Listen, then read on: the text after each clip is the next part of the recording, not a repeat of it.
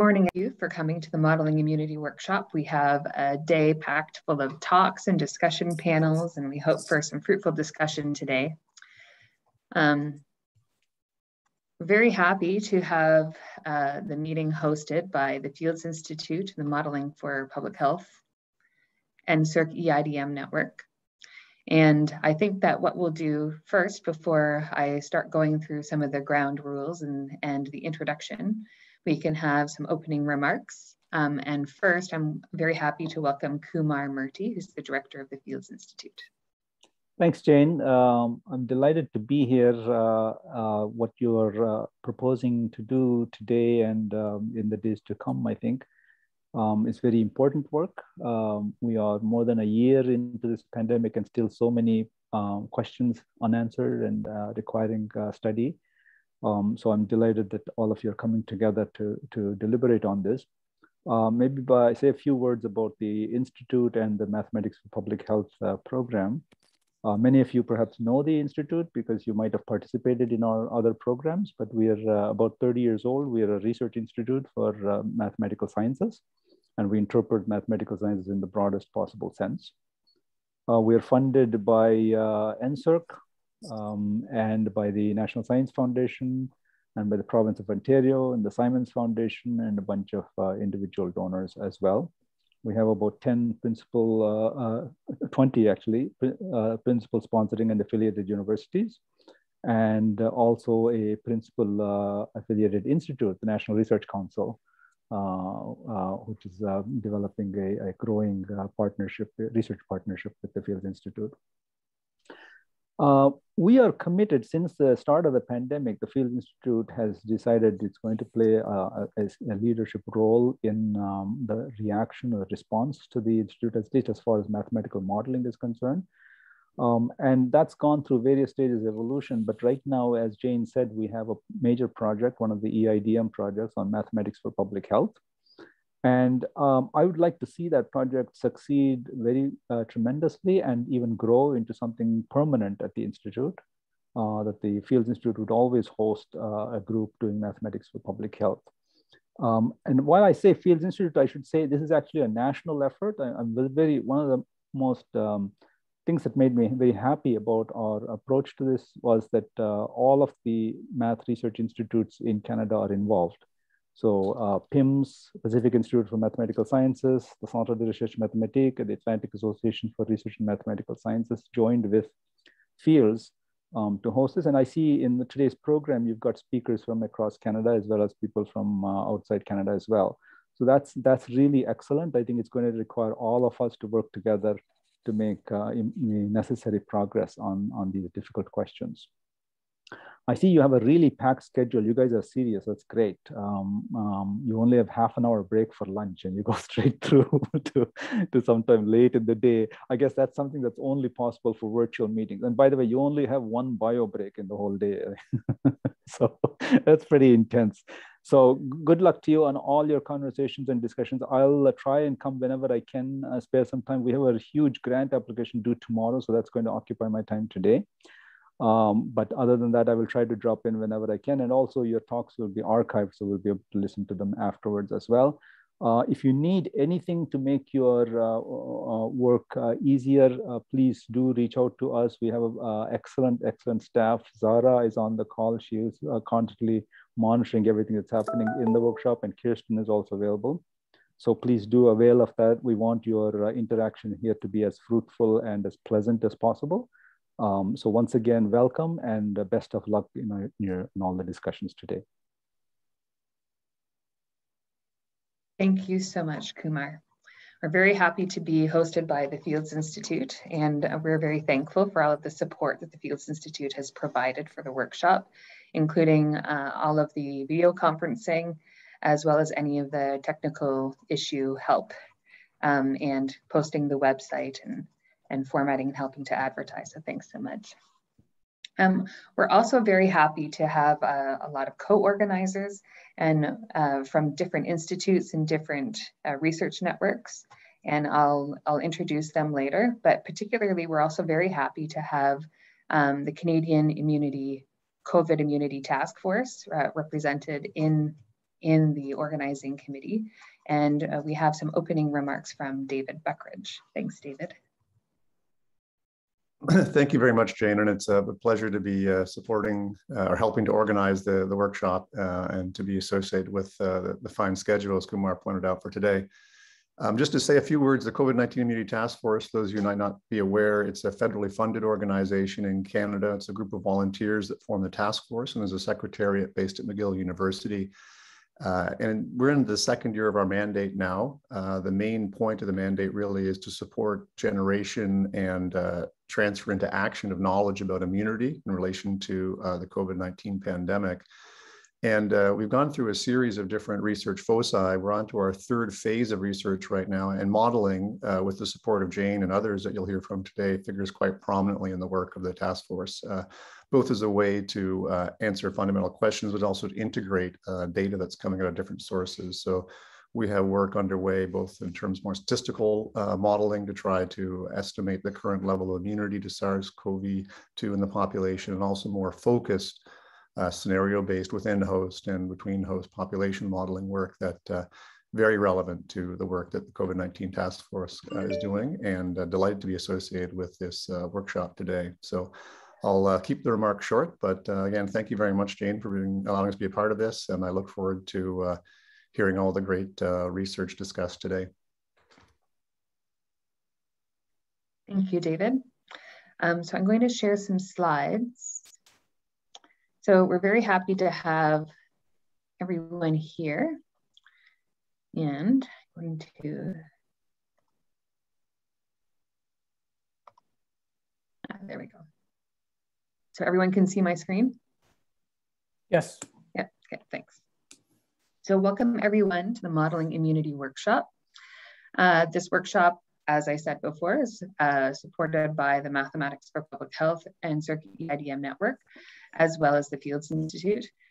And it's supported by the Center for Disease Modeling, Centre de la Modélisation des Maladies, uh, the COVID Immunity Task Force, the National Research Council of Canada, uh, NSERC, the OMNI-RÉUNIS NSERC EIDM Network, and by all of you.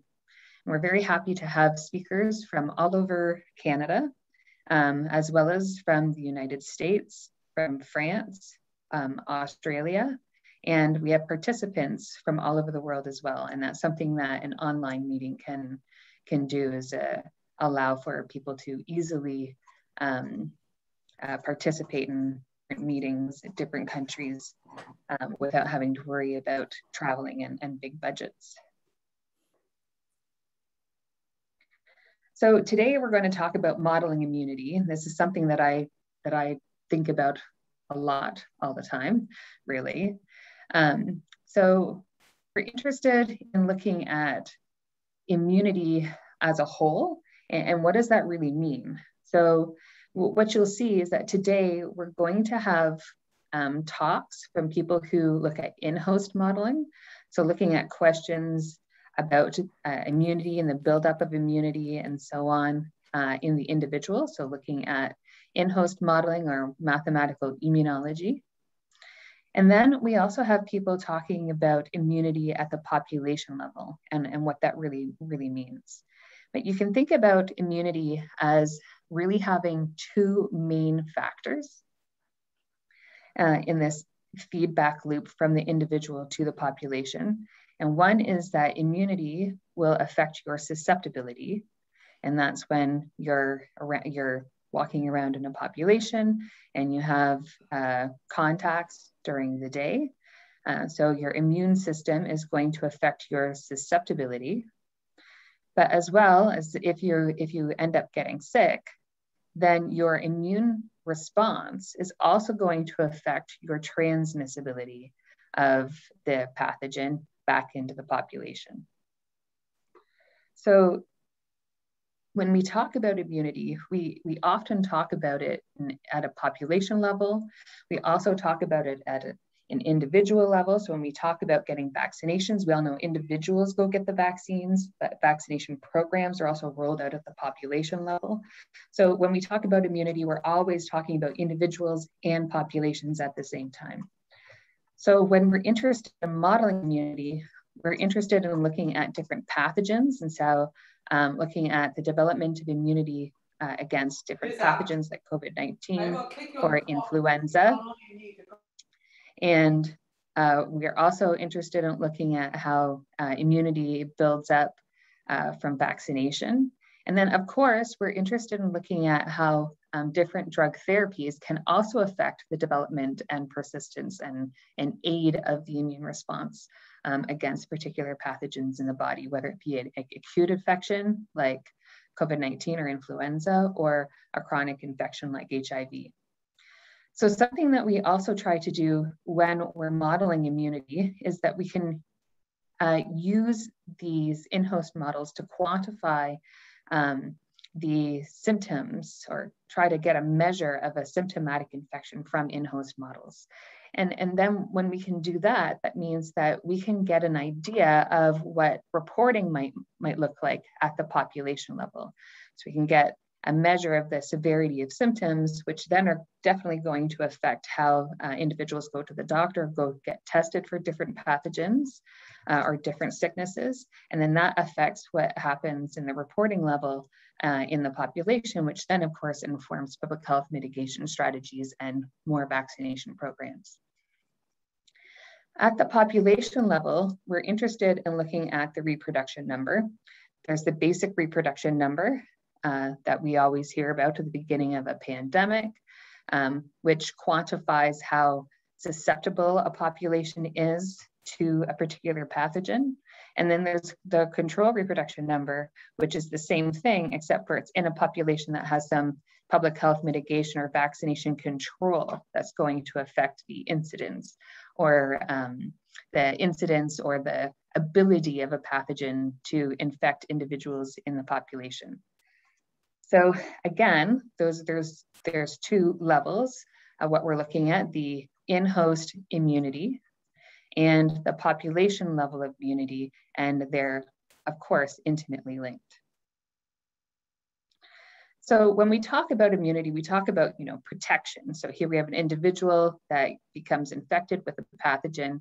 Uh, they mount that initial immune response. And then after this infection or during the infection, they get antibodies. And then they have some buildup of T cell memory or B cell memory and B cell memory at the end of the of the infection. And so that means that they have some protective capacity so that a few weeks later if they get reintroduced to the pathogen.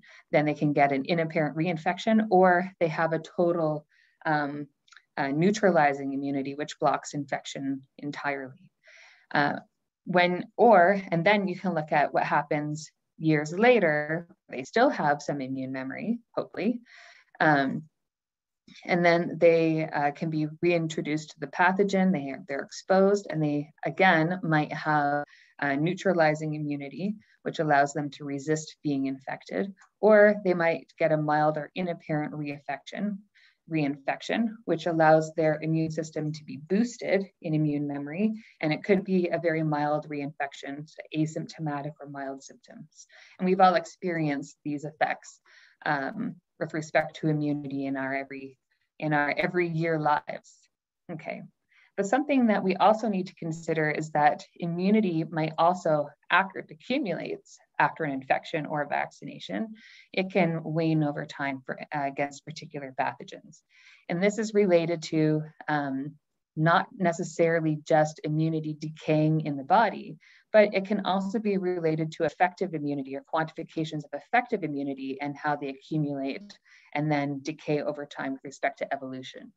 So here you can think, well, here's an individual that maybe had an exposure to influenza and they got infected and then um, the effective immunity wanes. And so then a few years later, the pathogen has evolved significantly so that they can be infected again and they get another infection and so on.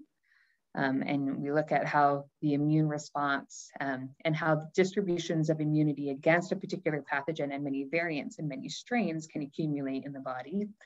You can also look at how um, immunity might wane after you have a vaccination. So here you have that initial vaccine that you might get against a particular pathogen in the childhood uh, vaccination program. And then a few years later, you can get a booster dose and maybe you can get a booster dose again and again.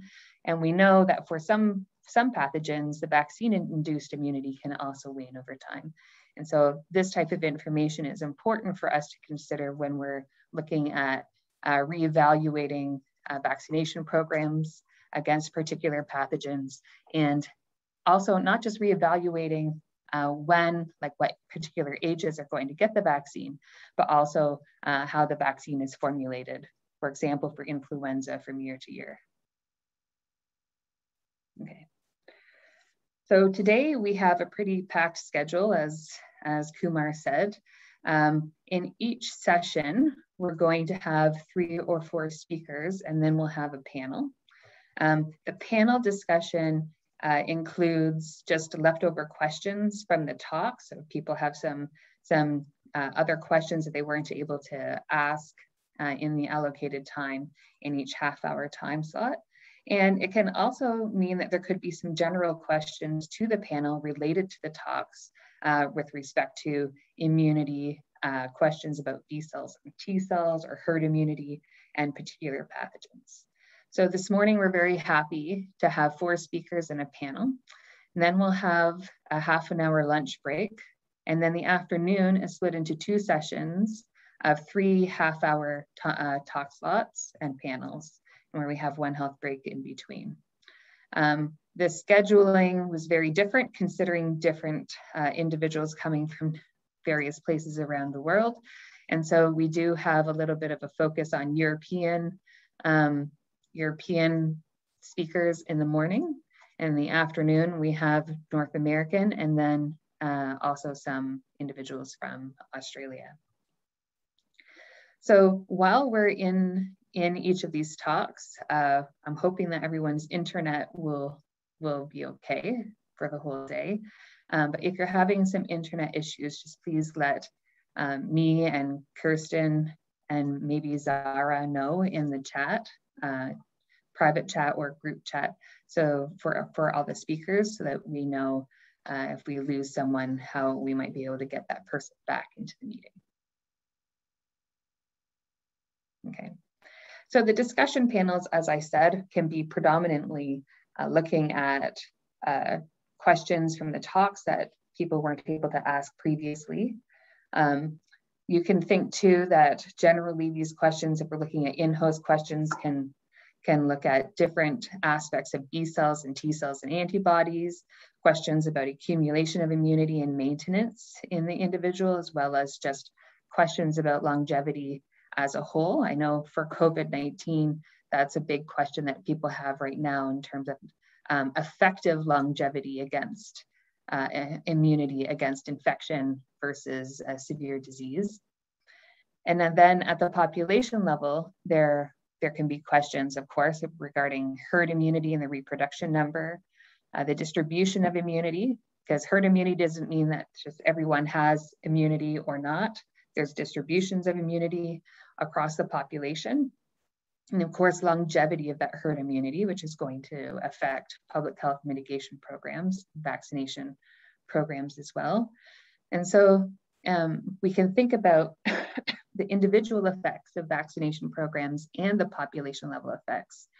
Um, of course, then that means that uh, when we're looking at mitigation of public health, uh, mitigation of infectious diseases, this is also going to affect the um, shaping of an individual's immune response because public health mitigation programs affect the contacts or the um, the transmission probabilities of specific um, pathogens in the population.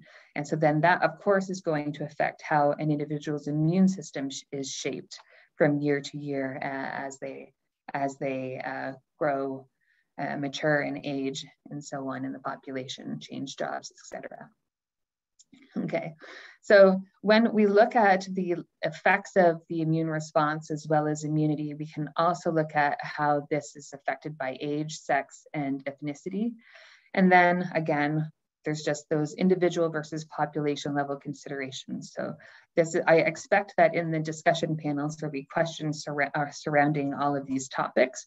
And an important question will be, what do we think are the key questions that uh, we should consider in modeling immunity in the host and at the population level uh, going into the future when we uh, can be preparing models of immunity at both levels to get ready for the next pandemic or even just the influenza season.